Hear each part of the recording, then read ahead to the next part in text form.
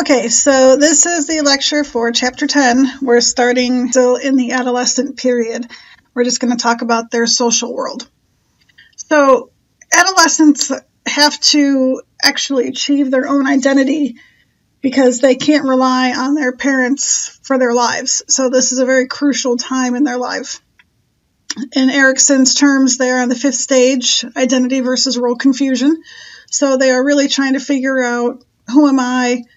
But there are so many roles that they can play. There are so many roles they can perform out there that they get confused as to which route they should take. So, an identity consists of oneself, viewing yourself as a unique individual. So, you have your own role, you have your own attitudes, your own beliefs, your aspirations, your dreams, what you want to do with your life. And identity achievement is the term that Erikson used for attainment of this identity. So they figure out who they are, they figure out what they want to be, they actually accomplish their own identity. So the individual understands who they are, they are unique, and they can kind of reconcile their past with their future. Role confusion is also referred to as identity diffusion so this is when the adolescent doesn't know or really care what their identity actually is. So they're not going to really try to do anything or try to figure it out. They just really don't care or they have no idea what direction to take. Foreclosure is the term that Erikson used for premature identity formation. This usually happens if an adolescent takes on whatever their parents do they start to work for the family business. They take on society's roles, what the society values as opposed to what they think. So society thinks this is wrong, so now they think that's wrong. They don't question it, they don't analyze it, they don't look at how they actually feel about it, they just accept it. A moratorium is a term used for when adolescents actually postpone making these huge decisions, making these identity achievement decisions. But it's socially acceptable. Going to college, for example, is a common moratorium that adolescents will take. When you start college, oftentimes you don't know what your role, what your major is going to be. You kind of just fill out that general studies course of action, and then later on you figure out what you actually want to do. Or you may change your major 50 times before you finally figure out what you want to do. And that's okay, and it's socially acceptable. So when they're confused, they're not really focused on what they need to do or what they want to do. Foreclosure kind of helps them avoid any confusion because they just take on what they're supposed to take on, what their parents do, or what society values. They don't explore anything new or different. And then again, moratorium when they to go to college, they might join the army or navy, they might join a band, you know, that kind of thing. So we have four areas of identity formation. Religious identity, political identity, vocational identity, and then sexual identity, which also goes along with gender identity and gender dysphoria. So, religious identity, what you identify with religiously speaking, oftentimes it's similar to what your parents are. Sometimes you may be more devout or not as devout, but it's often the religion that you grew up with, so to speak. Political identity, usually again, similar to your parents, but sometimes they, adolescents decide to go independent and they don't really make a choice and they don't identify with a political party a particular one. They're not Republican or Democratic, they're independent. Vocational identity is your occupation. So before, back in older times, this kind of used to be figured out at a younger age than it is now. Oftentimes it takes years to establish now. And like I said, when you start college, you may not start out knowing what your occupation is going to be. But eventually you'll get there. We're more generalists now, kind of flexible and dynamic, and we kind of figure out what we want to do at a later age after going to college and such. Sexual identity, gender identity, oftentimes we question gender roles. Again, going back in older times when a vocation was kind of figured out rather early on in life, there were certain gender roles that people had to play. So women stayed at home with the family, didn't work. Males went to work, took care of the family, supported the family. But that's actually slowly starting to change now. We are starting to question roles and females can kind of do anything they want to do. Males don't necessarily have to be the breadwinners. They can be stay at home dads. And then we also have transgenders. When gender dysphoria occurs, the individual is not comfortable in their body. They're not sure what they're seeing and they don't know how to reconcile with what they're feeling inside. So oftentimes it leads to issues, unfortunately.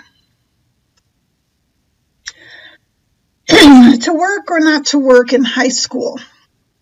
This little graph here shows the scores of 8th graders, 10th graders, and 12th graders who work over 20 hours a week, work under 20 hours a week, aren't employed but they wish they worked more than 20 hours a week. They're not employed but they wish they worked fewer than 20 hours a week. And they're not employed and don't want to work at all. The interesting thing is that adolescents who work over 20 hours a week or even just wish they worked over 20 hours a week have lower grades than adolescents who work fewer than 20 hours a week or don't work at all. So inter- grades tend to fall because in employment, especially when you're working over 20 hours a week, often interferes with homework and school attendance sometimes as well. Before, when adolescents got a job, they were often saving for college. Um, now it's actually kind of changed. Now some want to work because they want to have things that their families can afford. Sometimes they have to work to help pay the bills. So times have changed, but the bad thing is that the impact on academics is still pretty evident. So adolescents want to establish their own self. They are social beings, so they want to interact with others. But they need others to kind of validate themselves. So they need others to validate who they want to be when they grow up, so to speak. Adult ob- adult influence isn't as obvious here, so they care less about what adults think and more about what their peers think. conflicts with parents, we have this drive for independence that the adolescents want, and then we have this drive for control that the parents want. So adolescents and parents often conflict because of the fact that the adolescent wants to be independent, but the parent still wants to control them. The conflict typically peaks in early adolescence, but actually it's a sign of attachment because the parents still want that control, not distance. So it's actually kind of a good thing. Bickering kind of involves petty, peevish arguing. It's usually repeated, it's usually ongoing, and it's very actually considered to be normal. You know, you argue about what you're wearing, you argue about what's for dinner, you know, that kind of thing. Things that don't really matter. Neglect, on the other hand, can be harmful and unhealthy because even though teenagers want their independence and act like they don't need their parents anymore, the bottom line is they still need their parents. So neglect can actually be very destructive. So we've already talked about authoritative parents and how that's kind of the best approach to take, theoretically speaking. And uninvolved parents is the worst approach to take. And that's kind of where the neglect comes in. More important than conflict is closeness of the family, which has four aspects. Communication, so how well do the parents and teens communicate with each other? Can they talk openly with each other? Can they have conversations about anything? Support. Do they rely on one another? Do they have each other's backs, so to speak? Do they know that the other will be there for them? And communication and support are very helpful and essential to family closeness. Connectedness, connectedness has to do with how emotionally close they are. So, sorry. Do they, you know, tell each other they love each other? Do they give each other hugs? That kind of thing. And then control. Do parents encourage adolescent autonomy or do they limit it? Do they want their adolescents to have more freedom or do they, you know, are they strict? Do they make them do what they say when they say how they say it kind of thing? So again, connectedness is healthy. Some extent of control is going to be healthy, but these four things working together really tell us how close a family can be and how good the relationships are. Parental monitoring is, as the name implies, the parents knowing where their children are, what they're doing, who they're doing it with. Positively, you have a warm, supportive relationship, so you know where your kids are, you know who they're hanging around with, you know what they're doing. On the negative side, if you're overly restrictive and controlling, oftentimes the children will rebel. So making sure you have a good relationship with them is going to help them become confident and you're going to have a mutual respect going back and forth. You don't want, um, you know, to be too con- restrictive and too controlling of your children. Children and adults who communicate and care about each other obviously are going to turn out the best. The worst is when parents make the child feel guilty. They make them they try to make them feel threatened and show their gratefulness by saying that they're not going to support them anymore, they're not going to love them anymore. And of course, this is, you know, a horrible route to take. It's kind of psychological warfare almost. Well, if you don't tell me where you're going and who you're going, you know, with, I'm not going to be here for you anymore, or I don't love you anymore, kind of thing. So, with parental monitoring, communication is really the key. Trust is key. You want to make sure your children trust you and you trust them. And you have to give them some freedom in order to do that. Peer pressure. Peer pressure can be good or bad. Peer pressure provides encouragement basically to conform to your friends, what they're doing, behavior, dress, attitudes. It's usually considered negative because usually we think of their peers trying to encourage them to drink or smoke or do drugs or anything else. But it actually can be positive. You know, you can have feel peer pressure to get good grades because you don't want to stand out from your friends if they're all getting good grades. Study groups, that kind of thing. So peer pressure can actually be a positive thing but it kind of helps them navigate through adolescence. Um, again, parent relationships could, should kind of set the example for peer relationships. So how well you get along with your children kind of sets the tone for how well they're going to get along with their friends. Peers can be more helpful than harmful, especially in early adolescence. Again, teenagers are less susceptible to peer pressure so it's not as bad as we think. Oftentimes we think that, oh, their friends are all doing drugs, their friends are all drinking, and we don't want them to do that. We don't want them to be like that. You know, they're going to drag them down kind of thing. But like I said, we have things like study groups and, you know, when they're in the same classes, helping each other out. This is actually a good thing, and it can be a good thing. Technology brings friends together. Texting, of course, instant messaging, social media, Facebook, video games, and chatting on the video games. But we also have a health monitoring now when you can talk to a doctor by Skyping and things like that. So technology is one of those things that it's kind of bringing friends together during this time of adolescence when they can't always physically be together. Deviancy training is destructive peer support. So basically, one person shows the other the ropes, one person shows the other how to rebel and do what they're not supposed to do, like these two boys jumping off the roof into the snow. Um, even though there is snow, they can get hurt.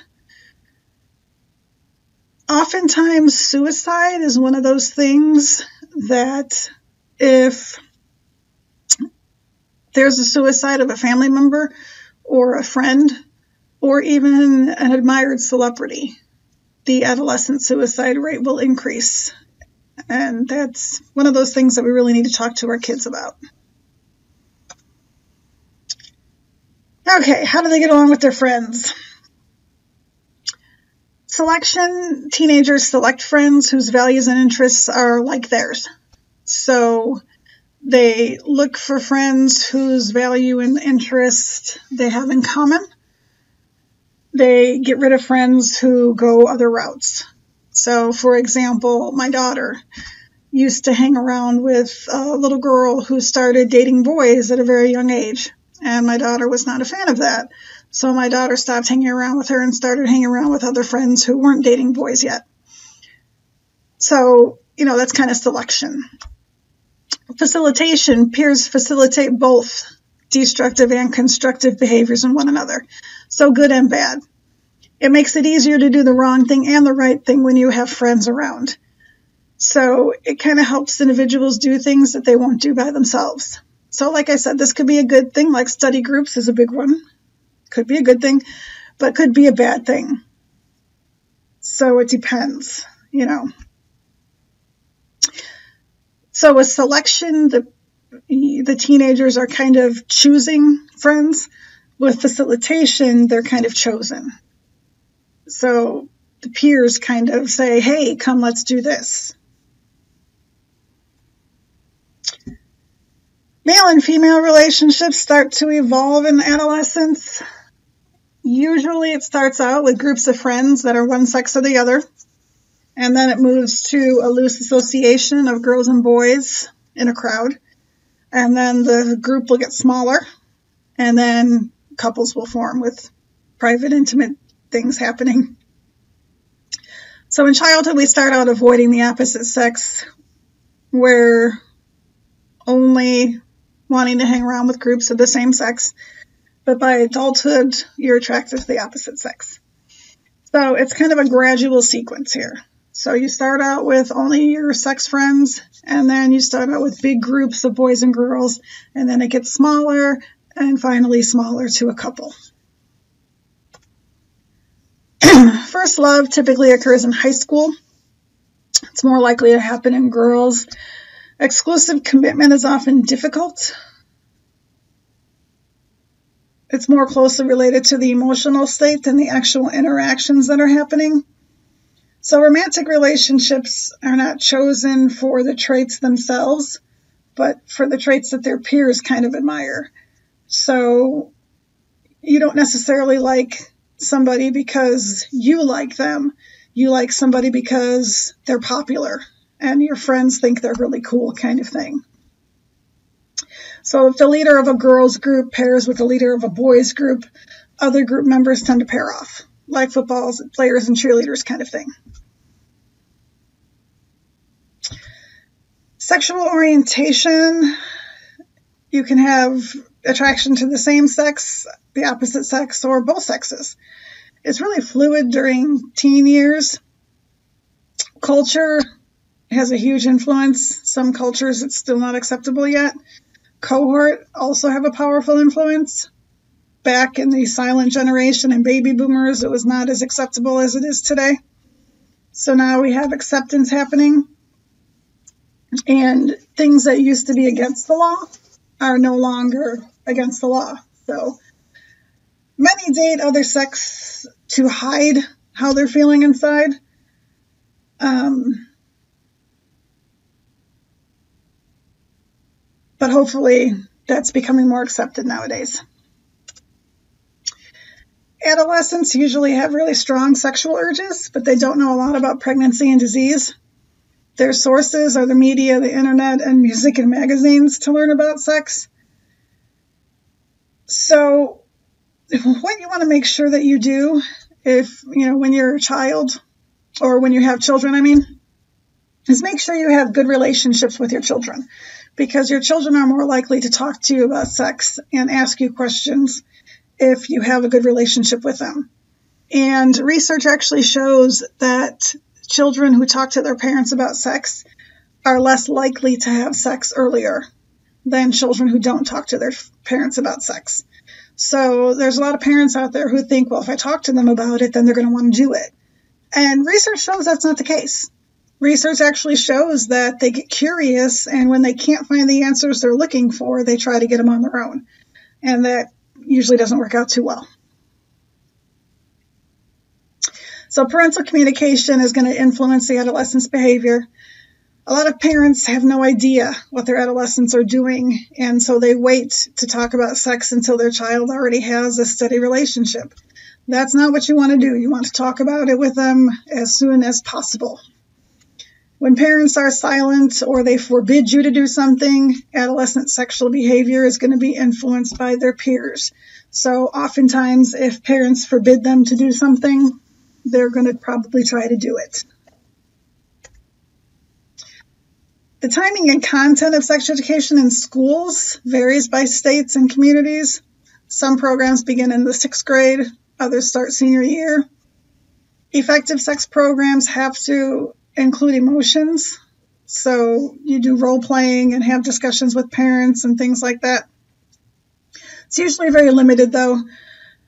They kind of learn about it and the research again shows that those who are educated are actually less likely to end up with unwanted pregnancies and use protection and or they're more likely to use protection and they're less likely to have sex early on. So talking about it isn't the taboo that we used to think it was. Unfortunately, a lot of adolescents go through depression. There's a difference between depression and clinical depression. Depression, you have less confidence, more depression. You can gradually increase your self esteem there's a general trend from childhood to adolescence where you slowly start to get an increase in your self esteem. The dip at puberty is found all over the place, but there are gender and ethnic differences. So, puberty is really the key there. Once puberty hits, all the hormones hit, that rush hits, self esteem kind of drops. Self esteem kind of drops. Usually it's short lived. Everybody has bad days. So you just because you're having some bad days doesn't mean you're depressed. Clinical depression lasts two weeks or more. So to be diagnosed, you have to have it last for two weeks or more. You have to feel hopeless, worthless, you're lethargic, you have no energy. And it's usually a combination of a bunch of different stressors. People with the 5-HTT-LPR receptor actually are more likely to be clinically di- diagnosed with depression than those that do not have it. But again, the length of time is one of the crucial diagnostic tools there. So studies find girls have much higher rates than boys, almost twice as high. The cause may be biological, but we're not really sure actually. Cognitively speaking, Rumination is a big one. This is more common in girls and can contribute to it. And basically, it's repeatedly thinking and talking about past experiences. I have a friend who constantly, every time we talk, has to talk about high school and what we did in high school and what we did in our early 20s. And they're constantly thinking about this and talking about it, even though, you know, we're both married with children now. She constantly ruminates and talks about the past and what we used to do back in the day. And, you know, it's kind of a cognitive explanation for why girls get more depressed than boys, because girls do this more often. And if you're constantly living in the past and thinking about the past, it's kind of hard to move forward and look forward to the future. Suicide is one of those things that I said we need to make sure we talk to our children about, especially if it happens. Thinking about suicide is relatively common. So, suicidal ideation is just thinking about suicide. Completed suicides are not usually common. Parasuicide is an attempted or failed suicide, and cluster suicides are several suicides committed by members of a group in a short period of time. There are some cults that have gone through cluster suicides, for example. But parasuicide is more common than a completed suicide. So this is attempting suicide basically, but you don't succeed. And as I said, suicidal ideation, just thinking about suicide, is relatively common. But actually attempting it is less common, and actually completing it is even less common, thank goodness. The suicide rate among male teenagers in the US is four times higher than the rate for females. They usually use lethal means, and the availability of these lethal means is easier for the male culture. Male culture kind of looks down upon those who attempt suicide and are not successful at it, which is kind of odd. But as I said, the method is really what contributes to the success rate, I guess you would say. Males have a tendency to shoot themselves. They take violent methods to kill themselves. Females swallow pills or hang themselves. Girls also tend to let family and friends know that they're depressed, but boys are almost ashamed and embarrassed of it, so they usually won't let people know. Delinquency. Rage and resistance. Moody adolescents can actually be both depressed and delinquent. So we have this assumption that out of control adolescents are just rebelling and there's kind of no hope for them. But there really is we have done research and we can help out of control adolescents. They can get help and be rehabilitated.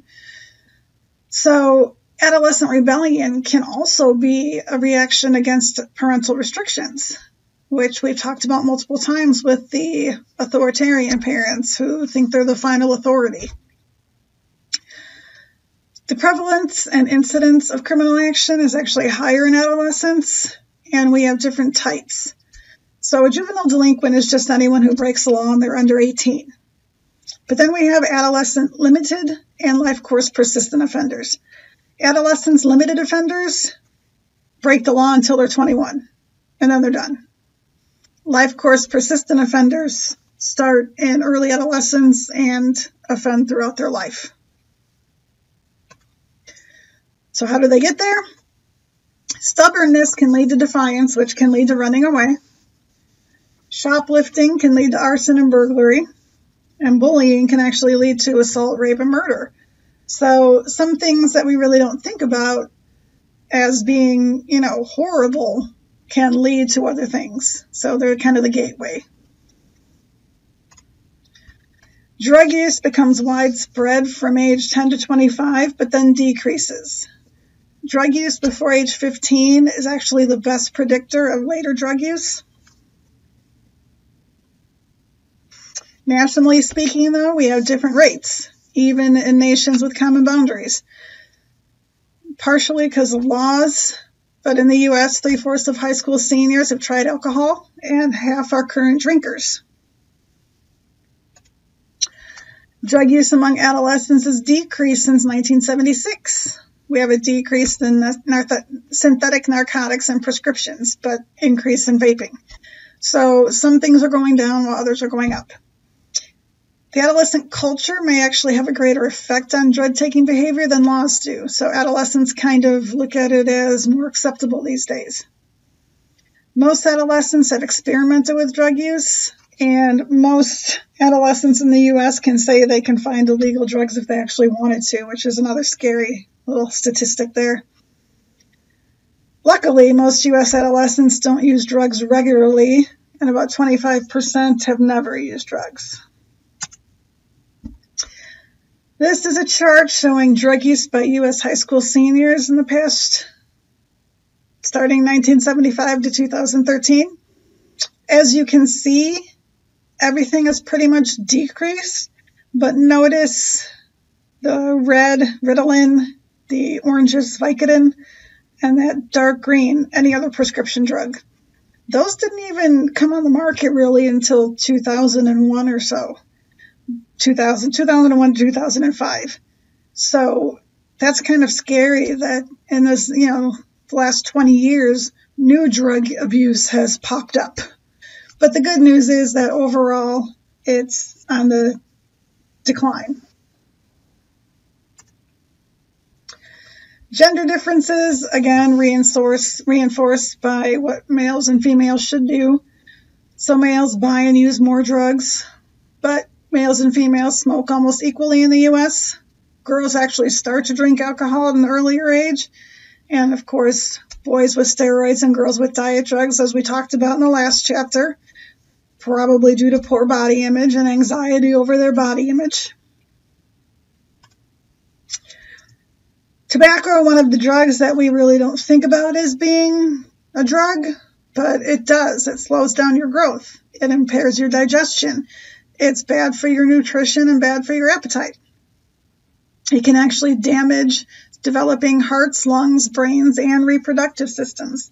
So even though we think of tobacco as harmless, we have shown and studies have shown that it actually is harmful and is a drug. Alcohol is probably the most frequently abused drug. Heavy drinking can impair memory and self control because it actually damages your brain cells. I'm sure you've heard the commercials or sayings, you know, about how many brain cells you kill when you drink, but it's actually true. And it can damage your prefrontal cortex and hippocampus, which the hippocampus remembers where your memory is at. Prefrontal cortex is where your impulse control and executive planning's at. Adolescents usually deny that they experience any harm or could ever become an alcoholic, which is part of the problem because alcohol is so readily available and kind of everywhere. If you look here, every gas station on the corner has alcohol. So when teenagers kind of see this, and it's kind of looked at as a norm, they don't think it's going to hurt them. Marijuana, of course, is another drug that is legal in some states, not legal in others. Legal in some states if you have a medical card, totally illegal in others. Adolescents who regularly smoke marijuana are more likely to drop out of school, have babies as teenagers, and not be employed. And again, even though they say marijuana is harmless and it helps you sleep, it does impact your memory and your language proficiency and your motivation to do things. so, how do we prevent drug abuse? That's the problem. The problem with drug abuse is generational forgetting. Basically, what that means is every new generation forgets what the previous generation learned. Every new generation forgets what they went through before. So, here we're talking about we know that these drugs can harm you. We know that alcohol leads to alcohol abuse leads to alcoholism. We know that tobacco hurts you and can cause cancer, but we seem to forget. So Florida and California actually have ad campaigns that appeal to young, younger, the younger generation. Graphic image ads have a tendency to work, especially with drinking and driving, showing the outcome of drinking and driving. And of course, parental example is huge. You kind of always have to set an example for your kids. And our kids kind of have a tendency to look at what we do and look to us for guidance. So parental example is huge. Okay, so that is it for chapter 10. Hopefully it helped you kind of understand it. Bye.